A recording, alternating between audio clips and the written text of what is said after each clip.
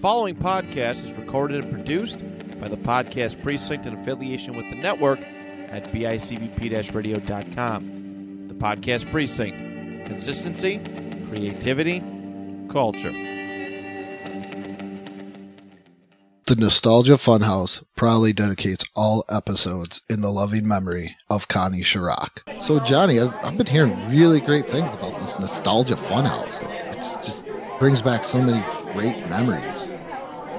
Andrew, uh, another reason I'm moving in line with you here is that you really vouched for this show. So I'm just going to believe you that this is the show that you know I've been wanting, which is just talking about all the fun stuff from our uh, yesteryear and years before. Uh, and I really hate anything meta, so I'm glad that what we're doing right now is not that. Oh no, definitely. What is meta? Is, isn't that Ron Artest's new name? well, add world and peace to it, sure. yeah, but this is this is great. They like last year they were like tearing play sets and Halloween costumes. And well, that sounds cool. They get like these weird court recordings from like pop culture courts. Does anybody care about court cases? Ah, these ones are kind of cool. They put Scott Calvin on trial. Old Santa Claus there. Oh wow. Yeah. Okay, you're.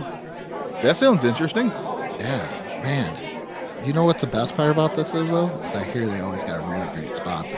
You can check it out right there. I hope you realize that playing with guns is an obvious cover up for your male inadequacies. Yeah? Well, why would anyone play with dogs? Why would anyone play with you? Why would anyone play with you? Why would anyone play with you? Why would anyone play with you? Why would anyone play with any of you? Beats us, but Burger King's got 'em. The Simpsons for $3.49 each when you buy new mini muffins or any size fries. To give you the Simpsons for virtually peanuts, sometimes you gotta break the rules.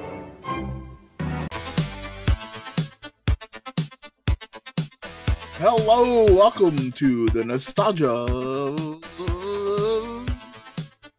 Do the Bartman Funhouse. That's right. Uh, oh, also, I love when I'm doing that. Uh, our uh, beautiful recording thing that we're using, Zoom, thinks that I'm trying to sing.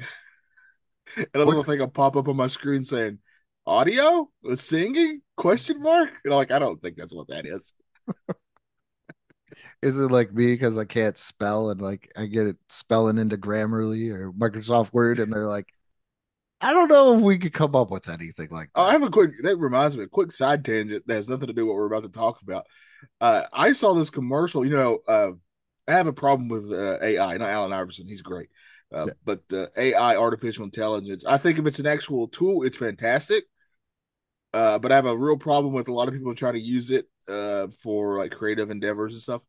But anyway, there's this new thing on the new iPhone where like you can type a whole text out a whole sentence and then you'll run it through its AI and it will change it and make it quote unquote smarter for you. I kind of need that. I'm not gonna lie. But like the reason that I hated that is because like it's sort of everybody like if I sent you a text, Andrew, and it wasn't how I usually text, you would immediately know something was up. Right? Because we everybody has a distinct way that they talk and text, I feel. Yeah. Uh so like, you know, you just would never know. And I watch a lot of true crime. Right. And there's been a lot of people who this is like, where it comes into play. Yeah. so like how would anybody know something happened to me if I was running everything through a stupid smart AI? I because I used the one day because most of the time when we get texting in our little group there, uh I'm in the car going to work. Yeah. So I re- didn't realize the one day when we were talking about the X Men Lego Mansion, and Matt's like, "I need that, but I don't need that," and I was Yeah. like, "Oh," and I and I said, "You know, but Bennett does, his you know his child," and I went back and I looked at the text and it said "bet," and I'm like, I hope he didn't think like I spelled it bet. Like I Yeah. said Bennett. I'm Yeah. telling you right now, I was driving and I said Bennett. Yeah, yeah. I got you. What are we but what are we actually going to talk about on this show today, Andrew? Oh, Johnny, because of your wonderful, wonderful musical taste. Yeah. Just your- for, for the record, Andrew has never let me pick out an album that we've covered. no, I if you ever want to know, I tell Johnny this. I told him once again, I told him yesterday. So, Johnny, when it comes to music, if you've never listened to Patton Oswalt talk about him listening to music in his 20s, that is Johnny. I, I I used to be way worse. I used to be a really huge music snob. I've definitely lightened up. but yeah, I listen to a lot of stuff. If I said their name, you'd be like, "Who?" Yeah, Yeah. It's wait until the nostalgia Hall of Fame stuff comes out, guys. yeah. Uh, I, I'm sure I have great picks. Just to run through for what what we did. Let's just go through. So we have Jagged Little Pill. Great, great every album. Everybody probably owned it, other than Johnny. I did not own it, but I do know of it. Yeah. know songs on it. Yeah. Dr. Dre's The Chronic. I did have that album. Yeah. Okay. An iconic one. Uh Radiohead's OK Computer. I definitely had that one. Radiohead was sort of my gateway into this other world of new music. Oh, okay. record. And then we have I don't even know what I'm pretty sure the band's name is Muse, or is that the album? Yes, the band's name is Muse. Yes. Absolution. I promise you, Andrew, you're I know you'll never check them out, but I think you would actually love them. They're very very good uh heavy band. Like they're actually a, a rock band, I would say, for sure. I I do like if I'm bored and I got no podcast, I'm not gonna lie. I'm like, you know what? Let's see what Johnny's talking. Yeah. But check out uh Muse's album uh that, that album is so fantastic. Yeah. so that, that was that was Johnny's pick. So this so I like to torture Johnny as we did Yes. uh Shaq Shaq Diesel, Yes. the Shaq album. So I felt like I was going to get him here with his love of the Simpsons and I do love Simpsons. Yeah. With The Simpsons Sing the Blues, a 1990 album where The Simpsons sing the blues. kind of. uh, yeah. Um, obviously, I was, I was well aware of this album, but I never actually listened to it. I knew "Do the Bartman" because that was a big single. I knew that, was song, yeah. and there's that one Lisa song where she there's like an episode that that song part of that song's on. So those are the two that I knew. Uh, but the rest of the album I had never actually listened to. Uh, my father bought this, so I listened to this quite a bit as a child. So there is some great nostalgia things, and two producers on this, Michael Jackson and DJ Jazzy Jeff. That's what I'm talking about. So right well, there, there's also uh, just uh this is the first Simpsons album. What uh, when did this come out, Andrew? 1990. Uh, let's see, released December 4th, 1990, recorded in September of 1990. So not a whole So- lot. So this is well, this is very Bart heavy because you got to realize at that time Bart was the was the star of the show. He was the standout. So he was the one that they really banked around on this album. Did you have the Bart Simpson T-shirt or poster or both? I had the Bart Simpson, the probably everybody had that, like the the doll. What is Oh, the- I forgot what it's. I had one of those. Like the Burger King one? Yes, yes, yeah. I had one of those. I definitely had uh, uh when I was in elementary school, I was very happy to get one of Bart, and it was a folder, right? Little little folder to put Yeah. stuff in, and it said "Eat my shorts," and I got in trouble for it because it said "Eat my shorts" at school, and uh, I and I never gotten in trouble before, so it really uh ruined. My, I used to be a goody two shoes as when I was in elementary school, till I discovered that I was funny, and then it all went on the window. Yeah. Um, uh, but yeah, I definitely had some Simpsons stuff for sure. What about you? I had uh the dolls, like the from Burger King. I had a Bart Simpson t-shirt, and I also I remember having the poster, and I think it was the underachiever one, and I wasn't quite sure what an underachiever was because 1990. I'm like seven, eight years old. Yeah. So I just knew Bart was the best. I thought Bart was great. Oh yeah, yeah. Uh-uh. When you're a kid, Bart was awesome, and then when I got older, I was like, oh yeah, Homer's the one who really actually rules on this show.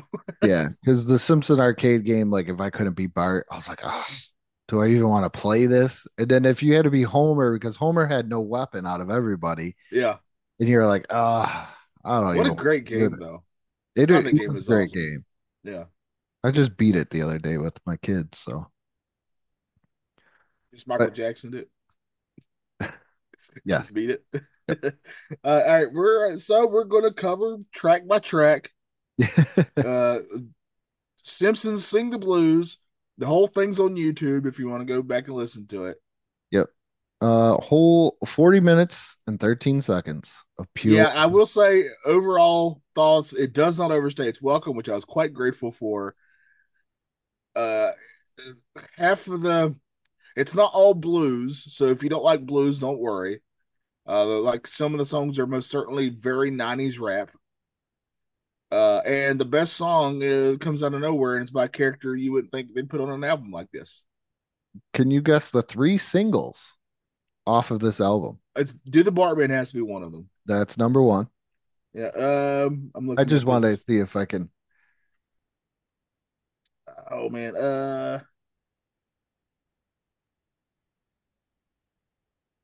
that one's the easy one. Um, That was the first single released November of 1990. uh, "Deep Deep Trouble." That's number two. Okay, because those songs are very much similar. Just very Yeah. Uh, and then I want to guess because this is the one that was on the show Mona Lisa Blues. Is that the other one? That's Uh. my that's my guess for three. No. Oh, well, what was the third one? Uh, God bless the child. Oh, okay, all right. Yeah, I, I thought they were the same song. Go look. Yeah, God, God bless the child. Yeah. But are we ready, Johnny? Yeah, we're ready as we're ever going to be. Let's Well- do the Bartman. Yep. Track number one, Do the Bartman. Uh, this is a nostalgia classic.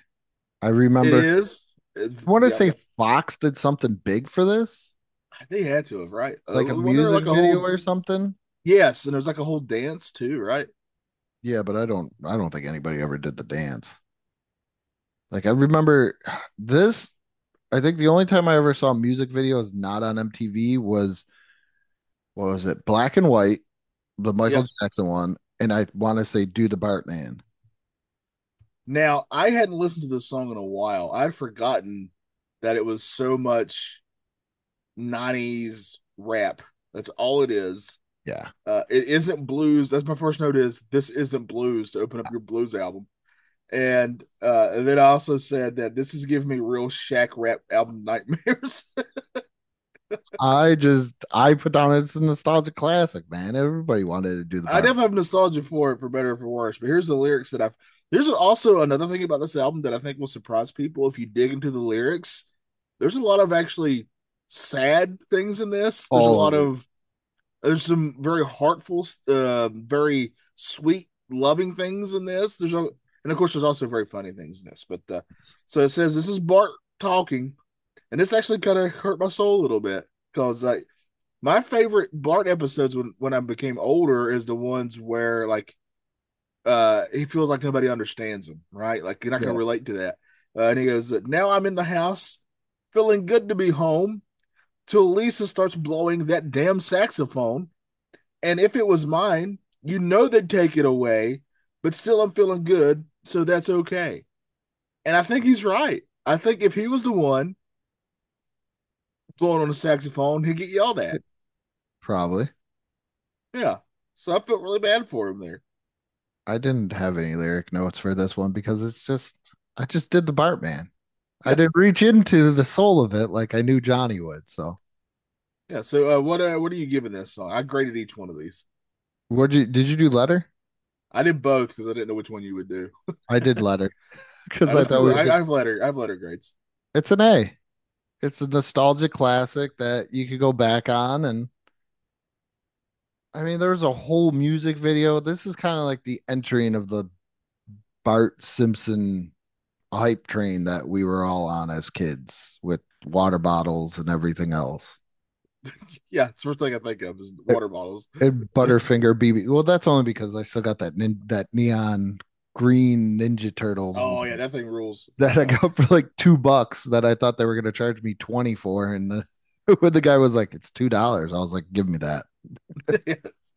So, but that's what I think. The, just the random merchandising. I always look at a a property or an IP as what random merchant merchandising did it have with it as well. And yeah. it had a lot more. Um, for me personally, this is despite it being a single, and it is does have nostalgia for me. Uh, it's one of the weaker songs on this album as a song.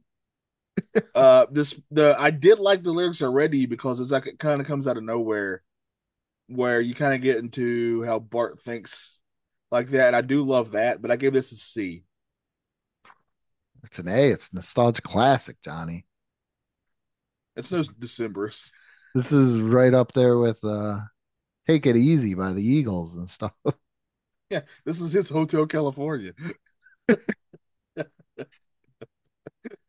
Uh Next Number- song. number two, we got School Day featuring Buster Poindexter. Yeah, my first my note on this is it's a three and a half minute long song, and two and a half minutes of those are the same thing over and over.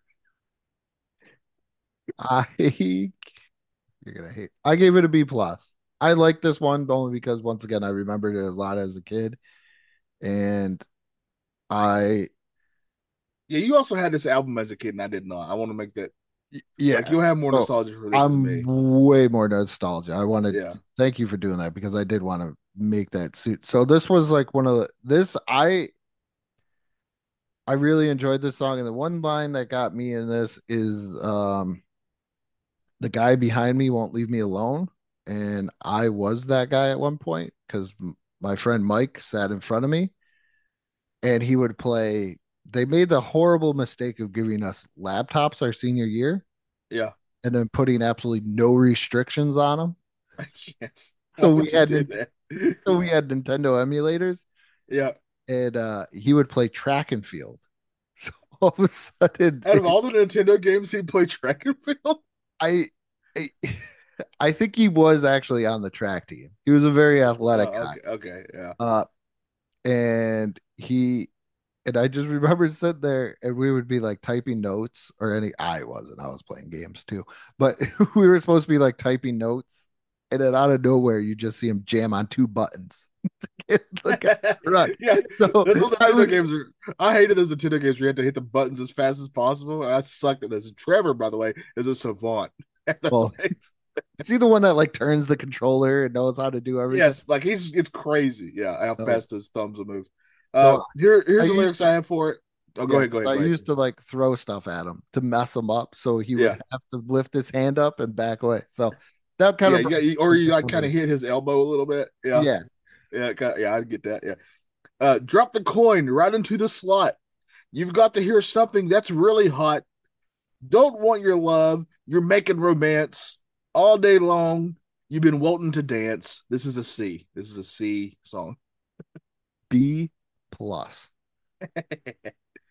now, I know so far I've given these low grades, Andrew. We'll get to a song that I actually listened to twice. I've listened to this album. I listened to it, I think three times. I gave it uh so that's probably why a lot of this stuff is higher and stuff like that too. Is I listened to it once, like when I was just cleaning, and then uh another time, once again, just kind of sitting around, and then when I actually went through and did the grades and everything else, I was actually just kind of more or less listening to it. Yeah. So number three is Born Under a Bad Sign. We get our first actual blues song. Yeah, reaching Homer Simpson. I actually uh I feel like this song could have been in Roadhouse. Yes. I have no do you get that? Okay. yes. My my thought when I was listening to this Or yesterday, you can hear us playing in a diner. yeah, like I just see this Roadhouse or uh Blues Brothers where they go to the country to yeah, the at a bar, some sort of bar or something. Yeah. yeah. Yeah. Uh, my favorite lyric is uh, "You know, beer and bowling is all I crave. A big bag of pork grinds is gonna carry me to my grave." That was my little bars there. Yeah. I was very happy to finally have a Homer song as well. Uh, the lyrics I have is I don't like to read. I could hardly write. My whole life has been one big fight. Uh, that was that those last two lines are actually pretty deep. And I was like, I get it, Homer, man. I get it, dude. I relate. I relate. Uh, this was a B. I actually like this song quite a bit. Oh, I give it an A. because I, see, notice I got higher though. I got I gave Yeah, it a higher yeah, grade. I I liked this one too as a kid. I liked the uh you know, if it wasn't for bad luck, I wouldn't have no kind of luck at all. right? Yeah. Kind of I kind of like that. Because when you're having a bad day, that's sometimes how you feel.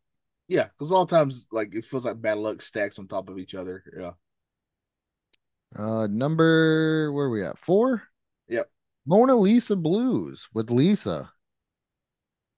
Yeah. Lisa gets her first song. This will be another one. If you watch early Simpsons, you'll definitely recognize this song because it's on an actual episode.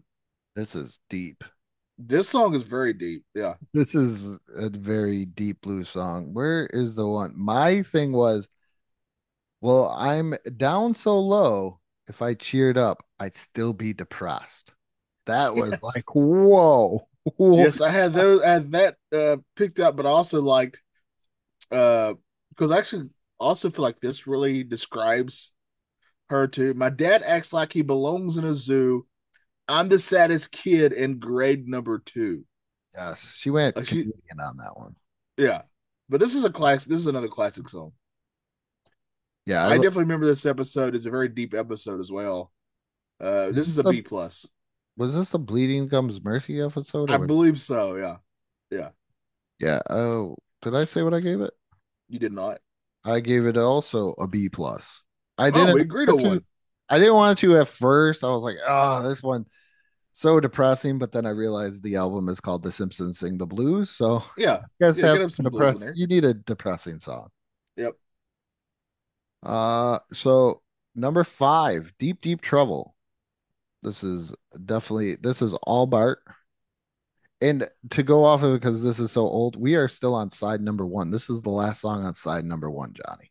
The A side. These are the A sides we're going with.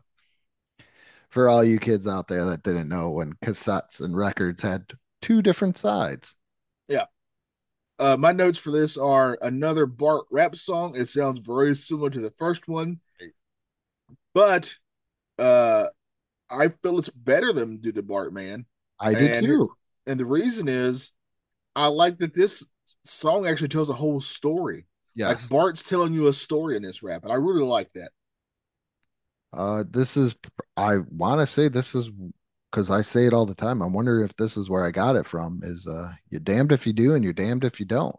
That's the lyrics I have. Da- uh, well, you're damned if you do, you're damned if you don't. Deep, deep trouble.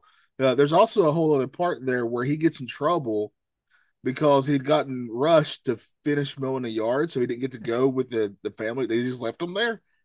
And I'm like, man, you just feel really bad for this. My favorite. I don't know why, but I always laugh when Homer does the. Who was the? Now you can't go to the boat show. I don't know. Yes, why. yes. It's just how he says it. Like if if you don't if you don't want to listen to anything, and but you want to just hear what the hell I'm talking about, just Yeah. go listen to Deep Deep Trouble and get to the point where Homer says, "Now you can't go to the boat show." And then I was thinking, could kids relate to the boat show today? Because I remember at like our local mall, they would do a boat show, and that was kind of like a, it was like a big deal, but because we could walk through the boats, and we, like we were talking before about cars, we're like, oh, I'm gonna get me a boat like this as as an adult, and I've never owned a boat in my life. Yeah, uh, I never cared about boats. Never went to a boat show. Been to a lot of car shows and a lot of um uh air shows. Those I both those things are pretty shows. sweet. Yeah, both those things are pretty sweet. So, uh, yeah, this is a really. Uh, I thought a really strong song. I really like that it tells a story. This is another B plus for me. I gave it an A plus, Johnny. I get it. I see it. Yeah. I gave it the give it the A plus because I do remember listening to this a lot as a kid. Are you ready for some B side? Let's go to the B sides. Saw song number six, God Bless the Child, featuring Bleeding Gums Murphy. Yeah, this is a very mediocre blues song to me. I yeah, this I don't have any lyrics for, and I just straight gave it a C because it's just middle of the road. I don't feel anything for this. I just Yeah. don't care. The strong get smart while the weak ones fade. And if I get stumped, they'll never make the grade. This is a D plus. I thought this was one of the weaker songs on the whole album. this is definitely a skip. Yeah. And I think the only reason why I gave it a C is because nostalgia. Yeah. Not a good song. So let's go uh to But let's follow it up with a great song. Yeah, this was really good. Um song number 7, Love to See You Smile. Uh with Homer and Marge. And at first I was like, is this Randy Newman? Well, guess what, guys? Randy Newman wrote this. Yes.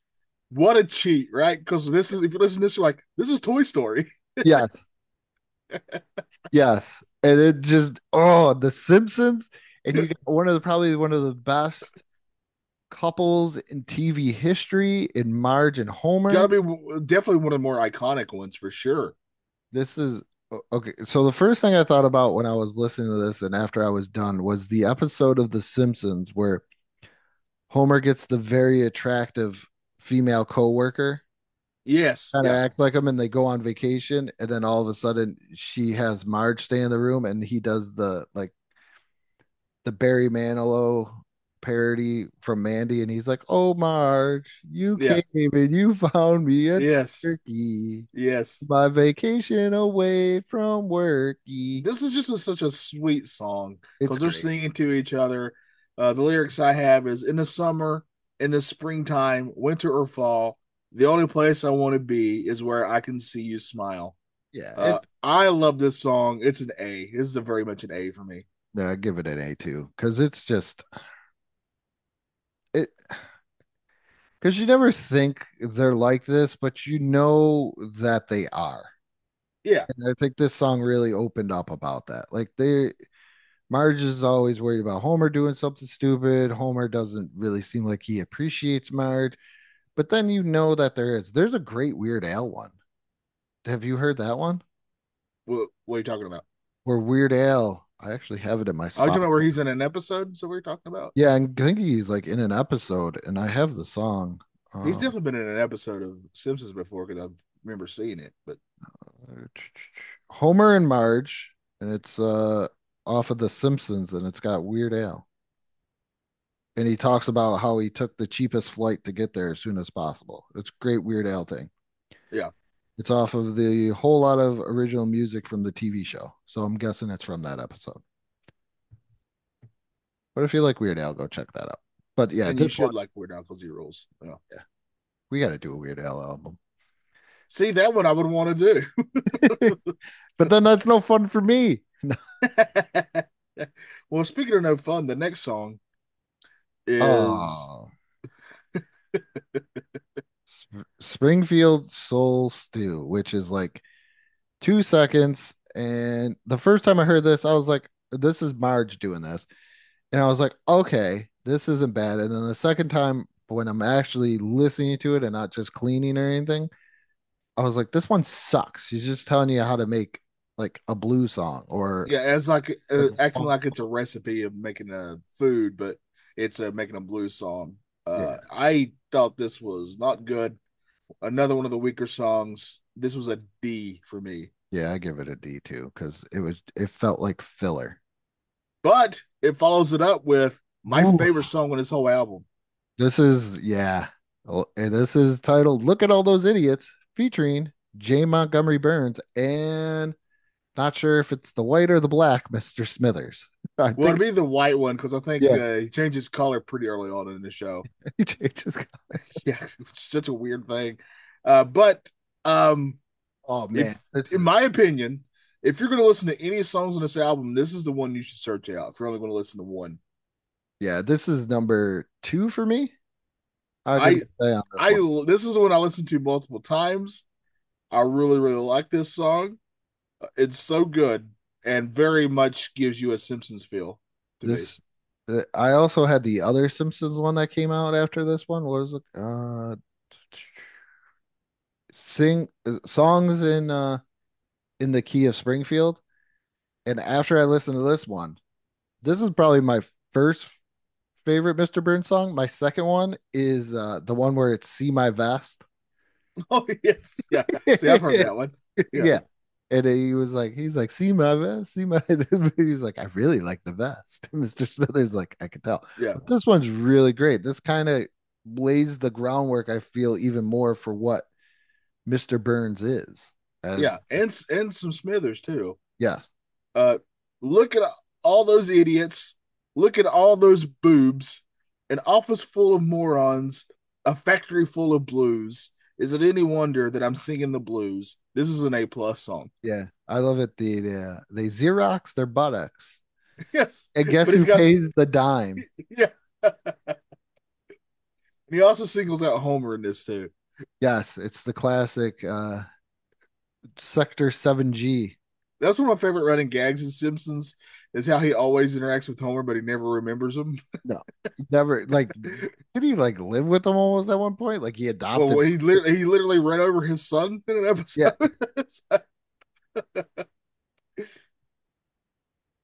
oh man, yeah, Yeah, this one is the best one. yeah, I love this song. It's, If you're looking- fantastic. This is definitely the well, I feel it's the second best, but if I'm gonna go overall and not take out a little bit of nostalgia, this is the best one. yeah, Yeah, I like this one a lot.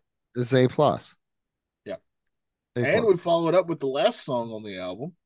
Uh, yes, sibling rivalry, which is uh, just pretty much uh, Bart and Lisa. Yeah, Go- going back and forth. They're kind of bickering about each other, but also there's some sweetness here too as well. I Uh, I really like this song also. yes, because I think if you have a sibling, older, younger, whatever, you can relate to this song. Yeah, Where I always remember fighting with my brother, and then my mother saying, "Oh, you guys, you know, you guys are gonna be like the bestest of friends when you guys get older. Don't worry about it. Oh, you guys." You guys are not going to know what to do without each other as you get older. Things are going to be different. And I'm like, I, I hate them. I hate them. I hate them. I hate them. And she was right. Like I text them and stuff like that and everything else. Yeah. His Yankees are though they just won the one game in the World Series, but all the well, they other have, their fans are helping. yeah, I've uh, made fun of them for everything else.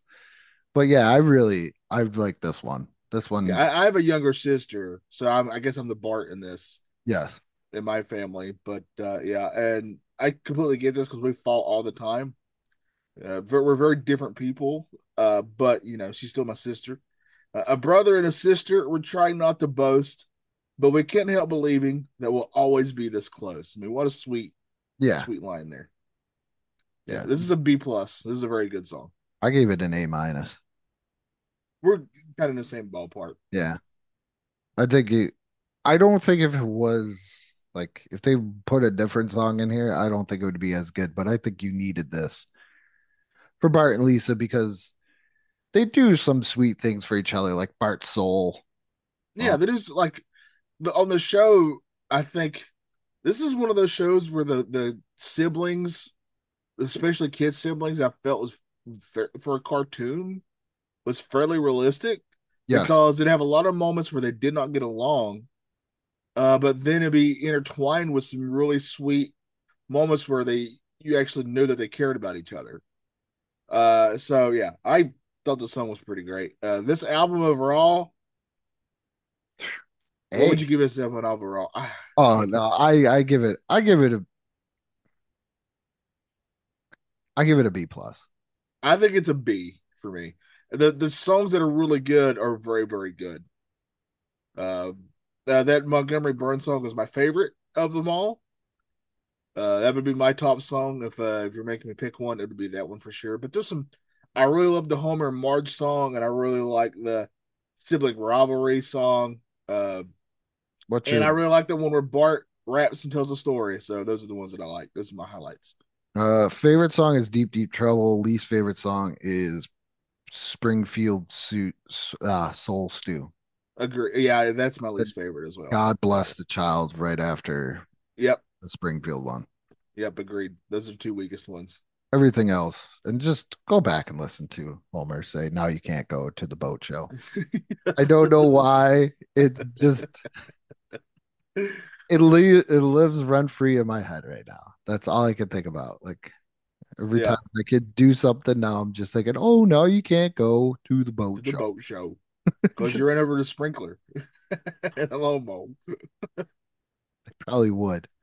They probably would. because Homer was rushing them to get done in the first place. Yeah. Well, you have to. I the But then, but then, but then Bart kind of ruins it by having all his friends come over. I sent Jehovah's Witnesses to my door one time because this is during my You sent them to your door. you, well, okay. So when you're 19, you can drink in Canada. So the Okay, minute yeah. we turn 19, we're five, you know, five minutes away from the board. So the minute we turn 19, what do you think we're doing? Going to Canada. We're going to Canada. So we go to Canada and we would party. So I'm like 19 or 20 years old. And obviously I'm still living with my mom and my stepdad. And my mom woke me up out of bed and I'm hungover. And she's like, go mow the lawn. Go mow the lawn. And I'm like, oh, so I'm mowing the lawn. And then all of a sudden these Jehovah's Witnesses come out of nowhere while I'm trying to like get it to start. And they're like, you know, would you like to talk about your Lord Savior Jesus Christ? And I'm like, no, but my parents do. They're right inside. You could just go right in. they walked right in. I was so pissed. That's a great way to get revenge. I was hungover. I didn't want to. Do you think you want to mow the lawn when you're hungover? no. Canadian uh-huh. beer like just kills you because of Yeah, your alcohol content. that's pretty funny. Yeah. Yeah, no, but I was like, yeah, you could go. You could go right inside. They're having coffee at the kitchen table. Just Yeah. They love to talk about Lord and Savior. Yeah. yeah. That's, that's pretty funny. it was one of the moments where my mother was you could see her upset with me but it was like yeah you got me Yeah. you got me so I think it's how I would be if you did it to me. It's like, all right, yeah, Yeah. well done. it was a good little Slow track. clap for you. Yeah.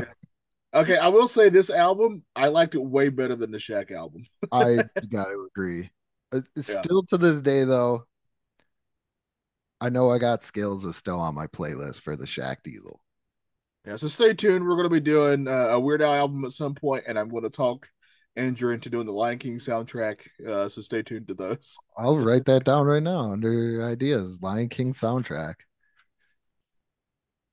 Yeah, that's one of my uh, favorite soundtracks as a kid. I knew every word of that one. we all know what mine is Yeah, the wonder the the album the uh, theme to RoboCop. no transformers the movie is the greatest soundtrack of all time It is really good, very strong. Yeah.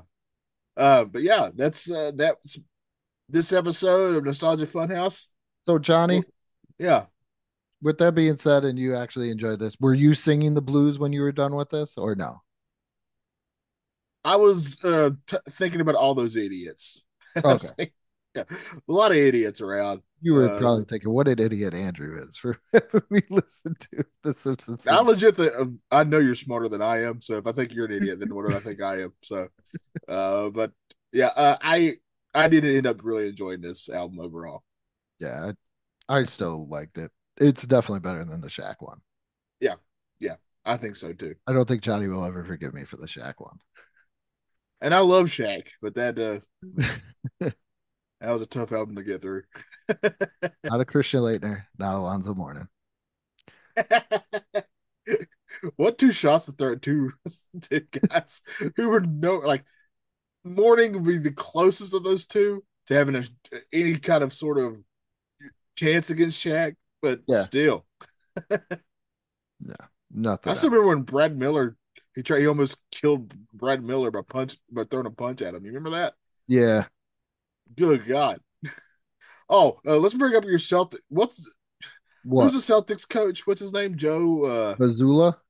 Mazzulla? uh, he's a weird guy. he is, but He makes some weird quotes. okay. So, have you have you ever seen Bull Durham? Yeah, a long time ago. Yeah. Okay, so if you remember, there's the part of Bull Durham where Kevin Costner is supposed to be like the mentor to Tim Robbins. Yeah. And Tim yeah. Robbins is still kind of new, but he's like the hot young prospect there. Right. Yeah. Yeah. And he and uh, Kevin Costner loo- looks at him and goes, "You got mold on your shower shoes." Tim Robbins like, "Whatever." He was like, "You can't have mold on your shower shoes." He's like, "When you make it into the big leagues and maybe you win and you win a bunch of games and you win a championship, then you can have mold on your shower shoes because Oh, then wow. it's something fun. It's quirky. Look at this guy. He's like, but right now you can't do that. And that's how I look at Joe Mazzulla. At first, I was like, yeah, he's a he's an interesting guy, but he won a championship. So he's allowed to be quirky. Ah man, but That's how I look weird. at things though. It- Like he just came out uh recently and said that uh he's really uh he really wishes that the NBA would uh just let fighting be a thing like it is in hockey. Which part of me is like that would be very funny. uh did he ever see poor um Rudy Tom getting his face destroyed by Kermit Washington? yeah, That's- literally if you look into that uh, listeners, there was a time this guy playing basketball, he ended up being a pretty good coach for the Houston Rockets. Uh, Rudy Tom uh I always say his last name wrong. Tom Bonovich, something like that. Just call him Rudy Tom. That's yeah, he gets he got punched in the face so hard that he literally he legit almost died. Kermit Washington destroyed him. yeah. He got fa- he got punched in the face by Kermit. Yeah. He about died. This is one of the craziest things in the world. Yeah. Uh, but thanks for listening. We appreciate all of you. Andrew, what are we doing next week on the Nostalgia Funhouse? We are going to gather, I don't know how many, ever how many you want to gather 10, 6, 5, whatever. Uh Survivor Series teams that yeah, are for wrestling uh, Survivor Series, we're going to be uh, doing that. So uh, uh, join us for that. And I like how Andrew, uh, his numbers, a lot of people go up like five, four, five, six, ten, but Andrew at 10, six, five. Uh, Oh. I love that. Uh, but yeah, we're going to be talking about Survivor Series teams, and we'll probably do one of. Uh, I think we should also do a very fun thing where we draft our own team. Okay. Yeah, because we're just looking at the worst Survivor Series teams that even if they made sense then, don't make sense now. Yeah, yeah, and Like some are just uh, American Flag Undertaker. Yeah, and we'll talk about how Mr. Kennedy got fired uh, for just giving us suplex to Randy Orton. and Randy Orton didn't like it. Kennedy. So, yeah, I Kennedy. did the echo when you said. Yep, I love it. Yeah. I was a Um, la- I'm a Laps fan during the Mr. Kennedy era. I barely remember because I was becoming lapsed during I took- era. Like a 14 year hiatus after the after what? Isn't that everybody in pro wrestling? Like I feel like you come back and you leave and you come back a lot when it comes to wrestling. I remember coming back and going, "What did they do to Kane?" I was like, Marlon Oh, yeah, and The Godfather, looking at uh, looking at James Caan after he got shot up. I'm like, "What did they do to my boy?" he's, he's trying to get Lita pregnant. I don't know what their issue is here. No, this was corporate Kane. Oh yeah, yeah. He'd I'm already that far. pregnant. Yeah, that's when I was like, "What is going on here? Kane should not be corporate." No, no. Uh, but yeah, but we appreciate all y'all listening. To make sure you check out all our social medias uh, on Facebook and on Instagram. Andrew does a phenomenal job on those. Uh, join that growing community there, especially on Facebook. We appreciate all y'all. And with that being said, what may not be nostalgia for you may be nostalgia for some. And look at all these idiots.